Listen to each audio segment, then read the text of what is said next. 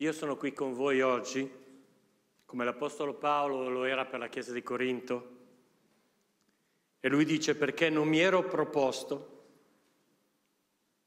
di non sapere fra voi altro se non Cristo Gesù e Lui crocifisso.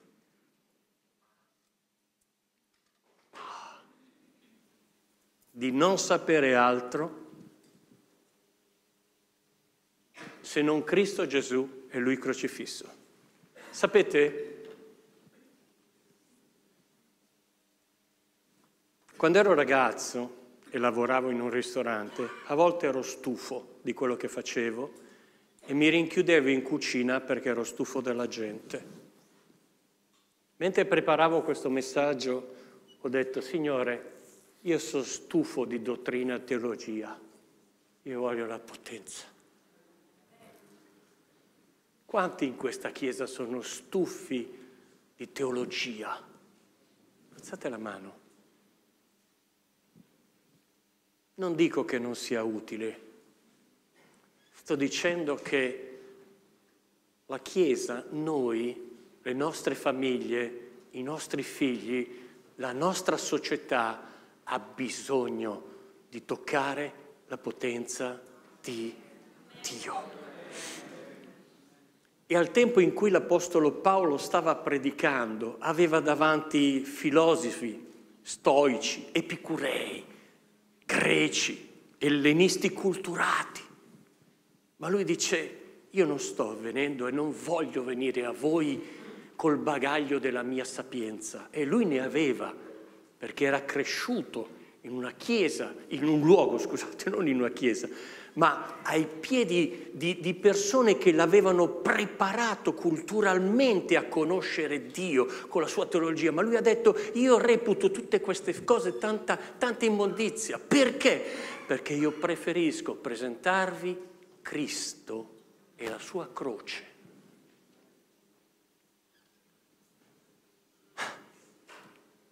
L'altro giorno ero in un negozio Tim, venerdì, e c'era una donna che serviva al banco. Iniziamo a parlare di cose tecniche riguardo contratti di cellulari, cose del genere. Avevo bisogno di mettere a posto alcune cose per il mio, e osservo che ha un braccio tatuato e sul braccio una bella croce. La guardo, stavamo parlando di telefono e di contratti, ma qualcosa inizia a muoversi dentro. E non mi posso fermare, cambio discorso e dico, ma scusa, sei credente? cogli la palla a balzo. L'ha fatto l'Apostolo Paolo, era lì, nel Partenone, vede tutte le statue, dice, ah, oh, che bravi, come siete religiosi, guarda quante statue che avete, però ce n'è una senza nome, vi dico io chi è, io ho fatto lo stesso. Volete una rivoluzione? Approfittate delle occasioni. Se portate la rivoluzione nella vita della gente, scoppierà nella vostra la rivoluzione. Lei mi, mi guarda e dice, no, i miei genitori non erano religiosi, io non sono religioso, i miei nonni lo erano. Mi fa vedere l'altro polso e pam, un'altra croce qua. È la miseria.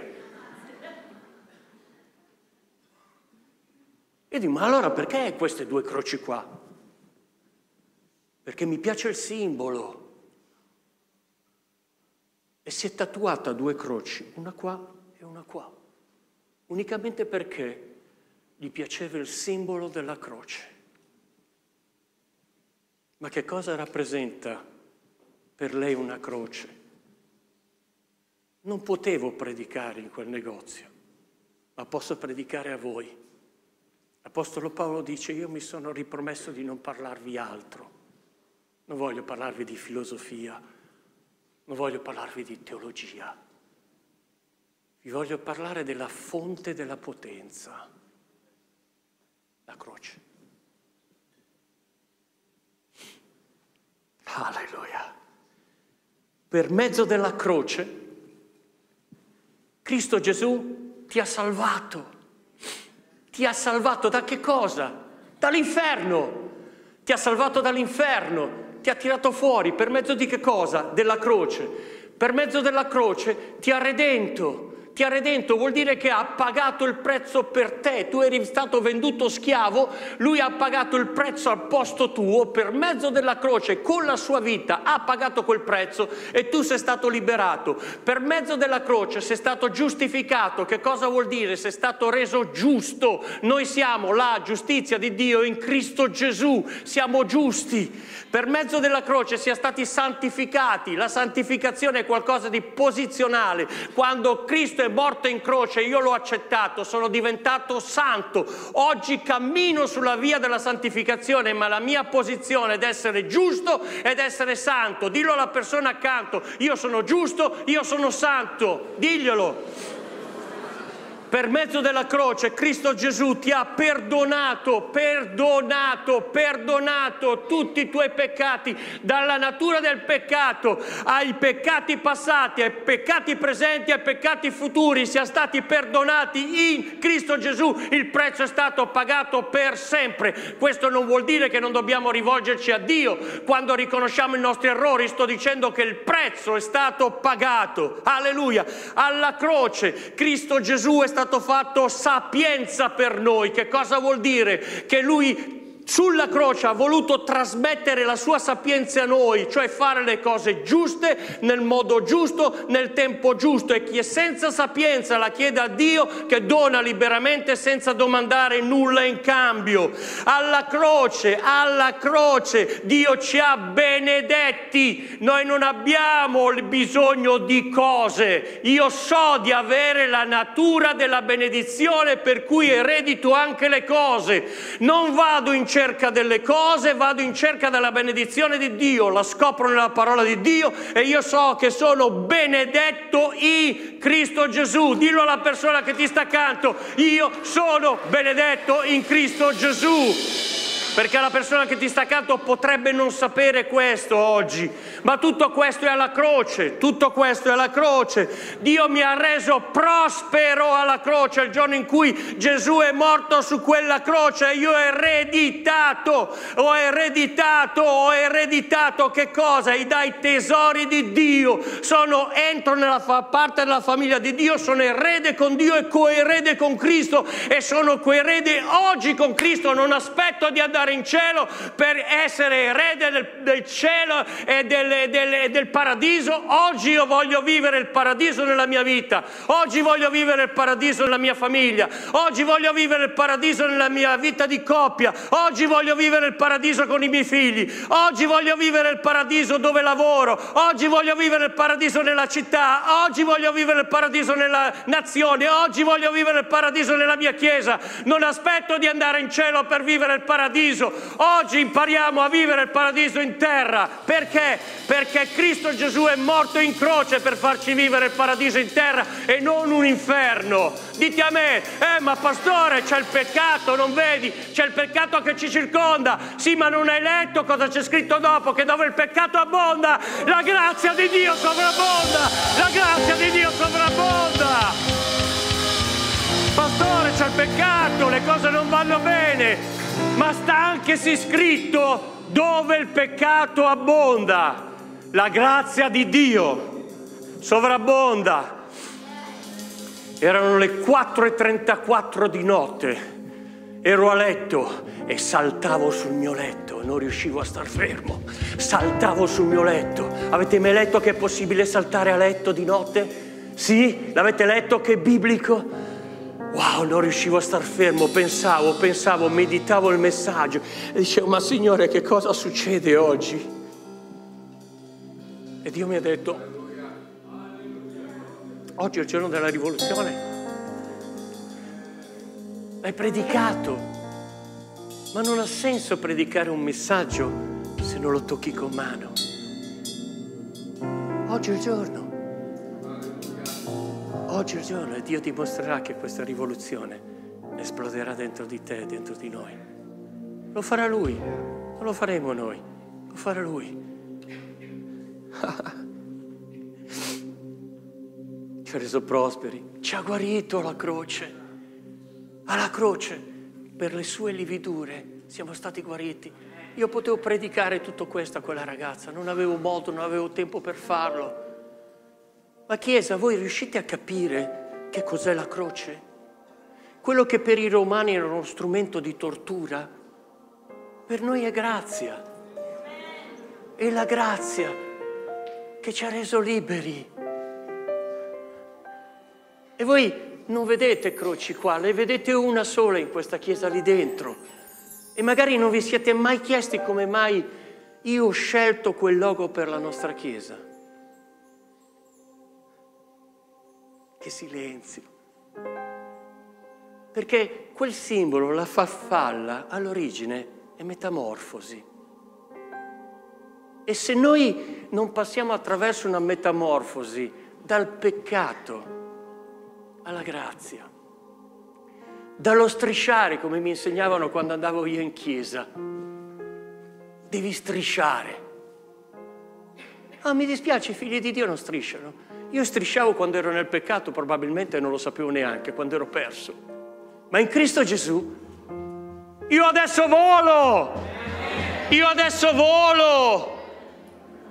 E dobbiamo imparare a volare. Dobbiamo imparare a volare. Ma non puoi volare se ti vedi ancora bruco. Se vuoi volare ti devi vedere farfalla. E tutto quello ha a che fare con rinnovare la tua mente. Rinnovare la tua mente è metamorfosi. Ecco perché ha scelto quel luogo, per quel logo, perché attraverso la croce noi rinnoviamo la nostra mente prendiamo la parola di Dio, cambio il mio modo di pensare, di vedere me stesso, di agire, di credere nelle cose. E la mia vita è cambiata. E oggi non mi vedo più come qualcosa che deve strisciare. Io sono una nuova creatura in Cristo Gesù. Le cose vecchie sono passate. La Bibbia dice che tutto è diventato nuovo ma alla croce non solo Gesù mi ha guarito perché ha preso le mie malattie, le mie infermità e i miei dolori, ma mi ha anche unto, mi ha consacrato, ti ha consacrato alla croce con l'unzione facendoti diventare un sacerdote e un re. Tutto questo è avvenuto alla croce, senza quello tu non potresti mai essere un sacerdote o un re per la tua vita in casa tua. Alleluia! Gloria a Dio. Chi vuole prendere adesso la sua croce? Alzi la mano.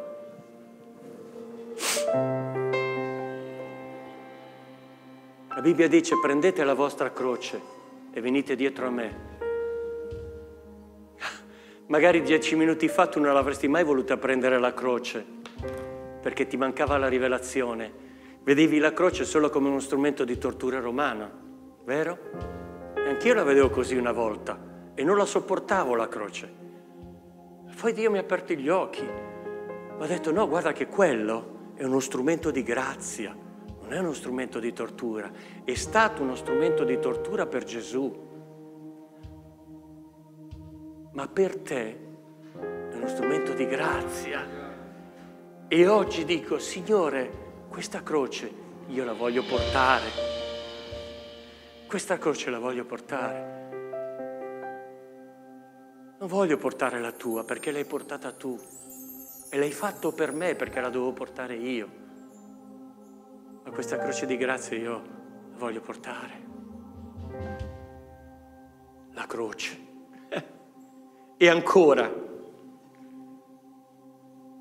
per mezzo della croce, su quella croce, Gesù ha inchiodato il documento accusatorio. Su quella croce Cristo ha preso il documento che ti accusava. Quando il diavolo, come avvocato accusatore, prendeva le tue colpe e le portava davanti a Cristo e diceva guarda non è giusto, è un peccatore, non può essere salvato, non può riceverti come Signore nella tua vita, perché? Perché non è degno. E allora Gesù cosa ha fatto? Ha preso dalle mani del diavolo quel documento accusatore e l'ha inchiodato sulla croce per sempre affinché tu diventassi libero e il diavolo non ti potesse più accusare. Il diavolo non può accusare i figli di Dio. Perché? Perché c'è colui che ti ha giustificato. Alleluia. Oh, gloria a Dio. E ancora, ma lo dovete vedere, io ve lo voglio far vedere, andate in Colossesi per piacere, nell'epistola dell'Apostolo Paolo ai Colossesi. Siamo al capitolo 2, al versetto 14.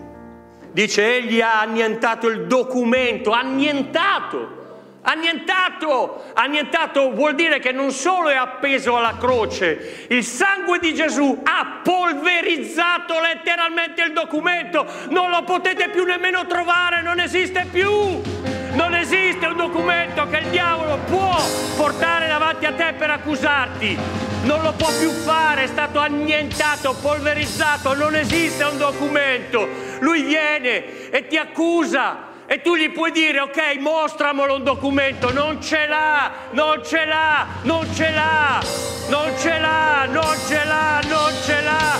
Tu hai il documento che ti dichiara libero, tu hai il documento che ti dichiara libero ed è la parola di Dio. Alleluia. Gloria a Dio. Versetto 15, alla croce. Alla croce cosa ha fatto? Alla croce, alla croce cosa ha fatto? Al versetto 15 di, prim, di Colossesi 2. Alleluia. Avendo quindi spogliato, spogliato i principati, le potestà, ne ha fatto un pubblico spettacolo ha preso i demoni, ha preso il diavolo e ne ha fatto un pubblico spettacolo. Oggi andiamo nei teatri a vedere i spettacoli, cerchiamo i canali televisivi per vedere lo spettacolo, ma guardate lo spettacolo che c'è nella parola di Dio quando Gesù ha preso il diavolo e l'ha portato in un pubblico spettacolo.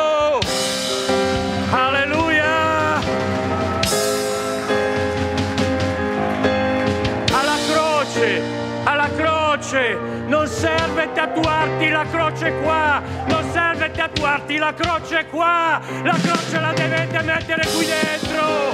Qua va la croce. Un pubblico spettacolo, ma non ha finito. Ne ha fatto un pubblico spettacolo, ma non ha finito ne ha fatto un pubblico spettacolo, ma non ha finito perché ha trionfato!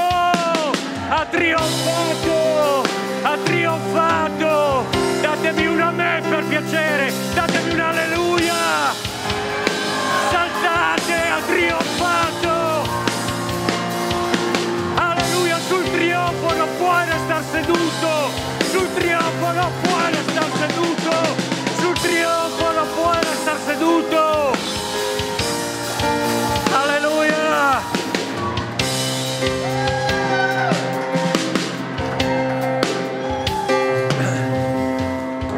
Preparatevi, ma non ho finito, sono solo a metà del messaggio. Accomodatevi. No, vi voglio dare tutto quello che c'è alla croce.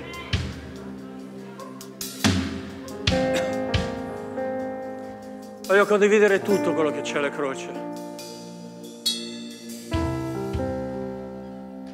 Perché è il fondamento della rivoluzione. È il fondamento della rivoluzione alla croce. Non lo credevo. Sapete, quando si parla di croce, si ha come un senso di angoscia, un senso di tristezza, un senso di dispiacere, perché sappiamo che colui che che abbiamo amato ci ha lasciato. Ma non è finita lì. Non è finita lì. Amen. Alleluia. Alla croce, la Bibbia dice che Gesù ha sconfitto la morte. A volte ci dimentichiamo che la dipartita è anche una grazia che ci porta fra le braccia del Signore a vivere l'eternità. Perché è possibile questo? Perché alla croce Gesù ha vinto la morte. E la Bibbia dice che questo è l'ultimo nemico che sarà sconfitto. Ecco perché oggi, a causa del peccato, non a causa di Dio, perché Dio ha creato l'uomo eterno, ma a causa del peccato gli anni in questo corpo si sono ridotti. Ma a causa del peccato non era la volontà di Dio, è una conseguenza del peccato che ha ridotto gli anni della vita sulla terra. Perché? Perché il Signore ama che noi impariamo a vivere l'eternità con Lui anche nel cielo. Ma io non voglio aspettare di andare in cielo, la voglio vivere anche qua. Oggi, questo giorno, fa parte della nostra eredità, sulla, della nostra eternità sulla terra, ma fa parte dell'eternità. L'eternità è tutto quello che è iniziato il giorno in cui Dio ha creato l'uomo e l'eternità ha a che fare con qualcosa che non può finire perché non c'è fine all'eternità. Tutto questo è stato fatto per te, sai dove?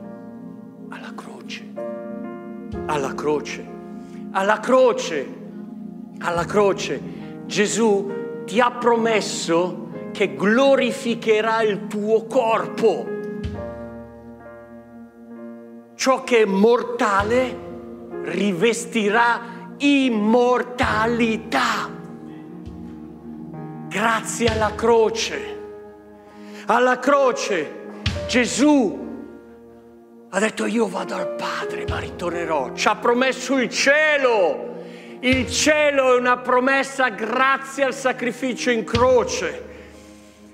Alla croce Gesù ha detto io vado a prepararvi un luogo, una casa, un luogo per te, una dimora nel cielo per te grazie alla croce, il Signore è lì in quel luogo che ha preparato e sta preparando un luogo per poterci accogliere, una casa per te come la desideri tu. Non hai bisogno, non è che se ne dà una più grande a me, non ha soldi e non ha a disposizione per darne una a te. Chiedetevi sarà dato, bussatevi sarà aperto. Alleluia. Oh gloria. Io non voglio vivere la prosperità solo nel cielo, io voglio vivere la prosperità sulla terra perché fa parte del sacrificio di Gesù. Se sono erede, ma pensate, pensate alla promessa di quando noi abbiamo lasciato tutto, io, mia moglie e due bambine piccoli, abbiamo lasciato tutto. Su che cosa ho mosso la mia fede? Su quello che la parola di Dio diceva, che se lasci casa, padre, madre, i tuoi beni, io ti darò il centuplo, ma non finisce lì, sulla terra sulla terra, io mi sono mosso per fede su quella parola. Sapevo che c'era una chiamata nella mia vita, ma sapevo anche che dovevo fare un passo in fede e l'ho fatto su quella parola. Ho detto Dio tu l'hai promesso e quando siamo tornati e non avevamo niente in casa da mangiare e non avevamo soldi, avevamo la promessa di Dio e Dio non è un uomo che può mentire, quello che ha detto lo fa e voi lo state vedendo oggi dopo 30 anni. Alleluia! Oh, gloria! E non pensate che l'abbia fatto solo per me, perché lo fa per i figli. Chi sono i figli in questa chiesa? Alzate la mano. Mi piace essere figli di Dio adesso, eh? Anche a me piace essere figlio di Dio. Gloria a Dio. Alleluia. Ma dal momento in cui Gesù era in croce, adesso io lascio questo luogo, ma vado in cielo e intercederò ogni giorno per te. Egli vivere, vive per intercedere sempre per noi. In questo momento io so che il Signore sta pregando per noi. E tu mi chiedi, ma pastore, ma come fa? Siamo qui in 350 persone, non lo so quante siamo, ma come fa a pregare nello stesso momento per tutti? Non lo so e non mi interessa. L'importante è che lui ha detto che lo fa e io ci credo.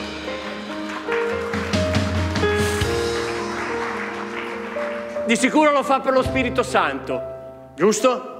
Lo Spirito Santo è in voi e allora abbiamo capito come lo fa. Pensavate che non lo sapessi, invece lo so, perché me l'ha detto proprio adesso. È vero, è incredibile, proprio adesso. Prendete dall'ispirazione dentro di voi, lasciatevi ispirare per fare una rivoluzione. L'unico modo in cui il Signore può intercedere nello stesso momento per tutti è per mezzo dello Spirito Santo che è in tutti. Grazie Spirito Santo. Alla croce, alla croce, Gesù ha detto ai suoi, non temete che non mi vedrete più per un po' di tempo, non temere, se non la vedrai più per un tempo, la rivedrai, la rivedremo. Non temete se non mi vedrete più per un tempo, ci rivedremo e vivremo insieme. È una promessa, grazie alla croce, è una promessa grazie alla croce. Per piacere, tornate in Prima Corinzi capitolo 1, versetto 18. Infatti, infatti, il messaggio della croce è follia per quelli che periscono, ma per noi, ma per noi Chiesa, ma per noi che siamo salvati è la potenza di Dio. Quando voi predicate la croce di Cristo, cosa c'è in quei tatuaggi? Noi lo sappiamo, tu lo sai. Quella croce è la potenza di Dio per chiunque crede. È la potenza di Dio. Dice il versetto 18, il messaggio della croce infatti è follia per quelli che periscono.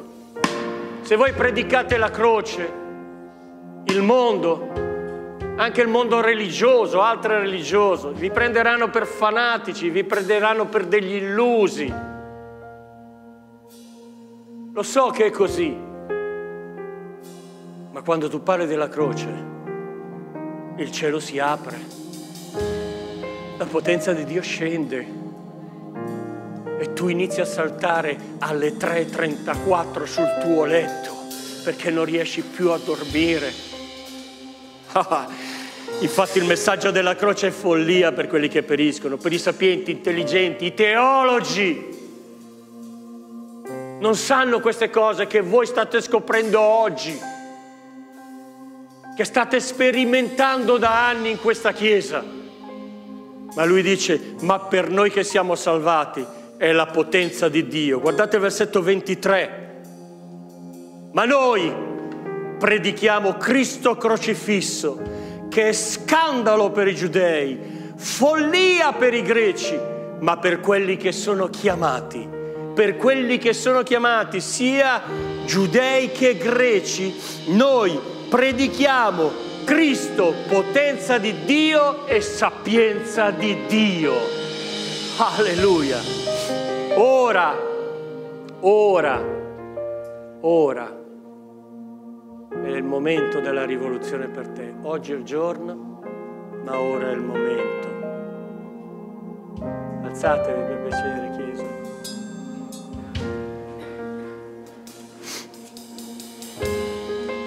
Il capitolo 2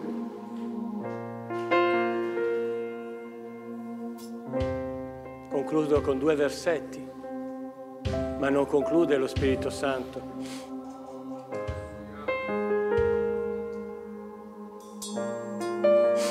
La mia parola e la mia predicazione non consistono in parole persuasive di umana sapienza. Non sono un teologo, non ho studiato teologia.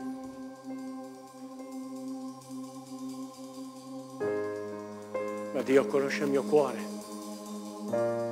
e conosce il desiderio del mio cuore. E così come conosce il vostro desiderio, il desiderio del vostro cuore. La mia predicazione non consiste in parole persuasive di umana sapienza, ma in dimostrazione, in dimostrazione. Ecco ciò che fa una rivoluzione. Quando passa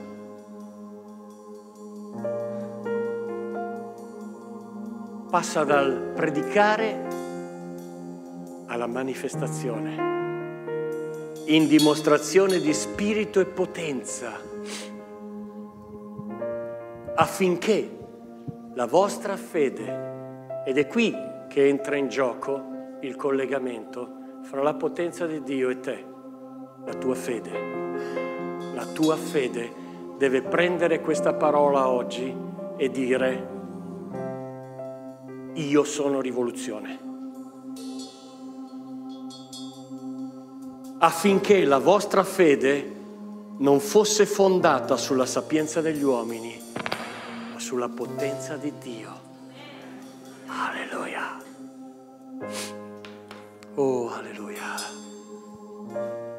Oh, gloria. Chiudete i vostri occhi. Lasciate lo Spirito Santo agire adesso. Preparami una rivoluzione d'amore.